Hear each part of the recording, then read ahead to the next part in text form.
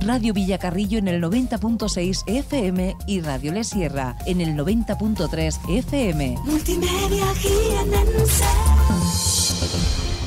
y ahora las entrevistas de actualidad llegan por gentileza de Javier Pinel, Asesoría de Empresas. Bueno, pues comenzamos con la primera entrevista de la mañana y lo hacemos para situarnos en Villanueva del Arzobispo. Y es que este ayuntamiento ha, estrenado nuevo equipo de gobierno y mantiene la misma línea de los últimos mandatos donde siempre ha sido necesario pactar para poder sacar adelante una mayoría necesaria para dar estabilidad al trabajo político institucional. Los pactos han sido hasta ahora cuatro consecutivos. Primero, 2011-2015 del PSOE y AXV con Gabriel Fajardo como alcalde. Después siguió un, tripartito entre Independientes, Agrupación y Partido Popular, 2015-2019, entre, eh, bueno, repartiéndose la alcaldía eh, en tres partes, Maribel, Jorge e Isabel. Después llegó el pacto PSOE Independientes desde 2019 hasta 2023 con Gabriel Fajardo a la cabeza. Y ahora, desde este 2023 y hasta 2027, si no pasa nada, Agrupación por Villanueva y Partido Popular van a gobernar el ayuntamiento de este municipio de la comarca de Las Villas, con Jorge Martínez Romero a la cabeza. Ahora la actual mayoría ya trabaja en terminar de perfilar los flecos del engranaje de gestión. Jorge Martínez, alcalde, ¿qué tal? Buenos días. Buenos días. Bueno, pues supongo que ahora serán mucho... Ha habido trabajo los últimos días para perfilar ese, ese acuerdo de, gobierno para estos cuatro años, pero ahora queda ya eh, engrasar toda esa maquinaria y terminar de colocar todas las piezas necesarias, ¿no? Sí, ahora mismo lo que estamos eh, se revoca se revoca lo que estoy hablando. Que ahora, ahora no. ¿Sabes? Que, empieza como que me escuchaba. Nada, solucionado, solucionado. Bueno, pues decíamos eso. Ahora estáis trabajando intensamente en terminar de preparar toda esa maquinaria del equipo de gobierno para que todo funcione, ¿no? Sí, eh, ya hemos terminado de hacer más o menos unir los flecos del pacto, pero que esto es una cosa que se mantiene viva, iremos mejorándola y iremos viendo según la situación y las necesidades que vayamos viendo en el ayuntamiento y como mejor nos vayamos avanzando. Hmm. De momento lo importante era repartir más o menos eh, qué poder iba a tener cada uno de los partidos políticos dentro de este equipo de gobierno y, y, ahora queda ver quién qué, concejal lleva cada concejalía exactamente, ¿no? Sí, ahora mismo lo que hicimos fue repartir las concejalías por grupos y ahora ya dentro cada uno dentro de su grupo pues administrará la eh, concejalía como mejor se adapte a la persona que creemos oportuna hmm. dentro de cada grupo. Desde el día de las elecciones, que se conocieron los resultados, hasta el viernes por la tarde que se firmó ese acuerdo de gobierno, ¿cómo, cómo ha ido el tema de negociaciones, conversaciones, reuniones? ¿Cómo ha ido todo, Jorge? Pues decir que los dos grupos somos gente muy dura a la hora de negociar, eso es bueno porque a la hora de negociar dentro del pueblo, pues eso se, se verá. Y intentamos cada uno pues intentar pues eh, llevar a nuestros eh, a nuestros votantes pues mm, que se viera reflejado lo que habían votado en las urnas. Entonces pues intentamos pues cada uno defender a nuestros votantes y conseguir pues la mejor eh, la mejor forma de, llevar este ayuntamiento hacia adelante. Claro, em, esto es cuestión para llegar a un acuerdo siempre tiene que haber cesiones por parte de uno y de otro, ¿no? Eh, hubo que hubo que rebajar pretensiones o quizás a lo mejor ampliarlas de cada uno para que todo tuviera una, una cohesión y, hubiera unión en ese puzzle, ¿no? Hombre, cuando los grupos somos, vamos, eh, ambiciosos, eh, eso a la hora de, de, intentar pactar, pues cada grupo quiere esa ambición para su grupo. Eso, como digo, a, nosotros, el haber estado hasta última hora, es bueno porque quiere decir que aquí ha habido gente ambiciosa y eso se va a plasmar eh, en los proyectos del, para la localidad, que van a ser proyectos ambiciosos. Sí, sí, sí. Eh, se habla por ahí, dice, tenían que haber sido un pacto donde se repartiera la alcaldía. Eso se hizo ya con el tripartito y, y, quizás no terminó de funcionar. ¿Esa posibilidad, la de repartir la alcaldía por años, estuvo sobre la mesa o desde un principio se descartó? Bueno, nosotros lo que haya habido interno de aquí para atrás ha sido cosa interna y ahora somos un grupo cohesionado y entonces pues nosotros estamos, como te estoy diciendo, ya empezando con miras de aquí en adelante.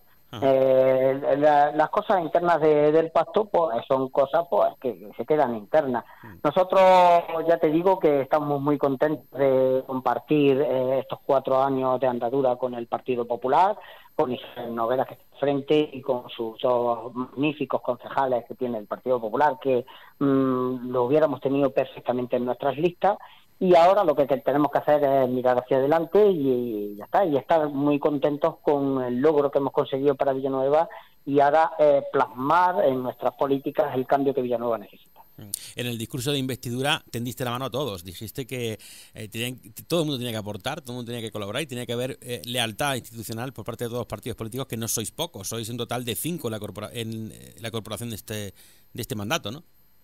Sí, eh, recordemos que, nosotros ahora mismo tenemos mayoría absoluta por un solo concejal. Entonces, en la parte eh, de la oposición hay eh, otros seis concejales que representan una parte de la ciudadanía bastante grande.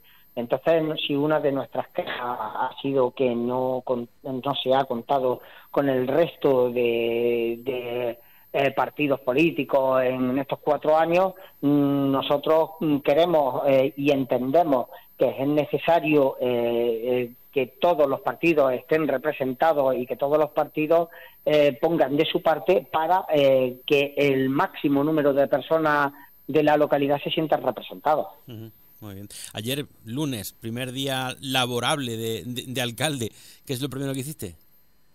Pues primero saludar a, a los que van a ser ahora nuestros compañeros de viaje, a todos los trabajadores municipales y ahora mismo dando un mensaje de tranquilidad y de que bueno que vamos a ir intentando mejorar en las partes que veamos que ha habido una serie de carencias, intentando que poco a poco vayamos mejorando esa serie de carencias, siempre sabiendo que eh, tiene que ser una cosa conjunta entre el trabajador y, y, y, los gestores de la administración, que en este caso somos los políticos. Mm. ¿Cuál va a ser el segundo paso ya como alcalde?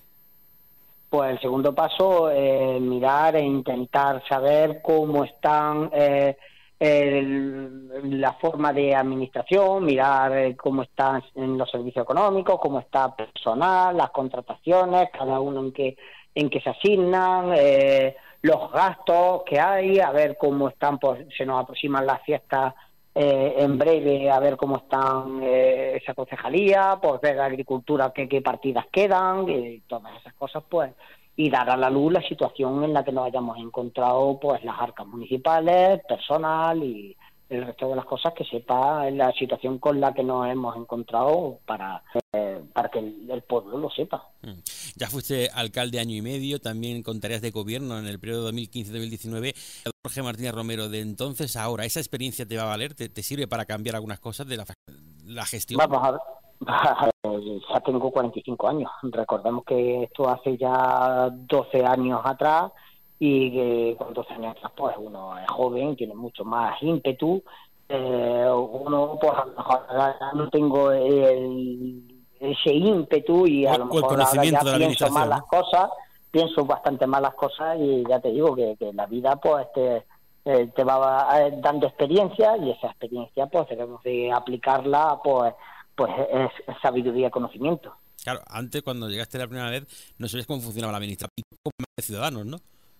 Bueno, yo he, tenido una relación bastante estrecha con la administración. Eh, hago recordar que, mi padre ha sido funcionario público durante toda su vida, que yo mismo he estado viviendo hasta los 14 años dentro del ayuntamiento, que yo nací, me, ¿Ah, nací, me salieron los dientes aquí dentro.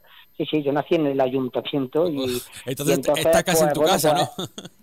Entonces es una, es una casualidad. Yo hasta los 14 años vivía en la tercera planta donde ahora está el archivo municipal, porque mi padre era el jefe de la policía y había una vivienda municipal dentro de este ayuntamiento y yo viví aquí hasta los 14 años. Luego, mi hermano lleva trabajando en la administración pública pues casi 30 años.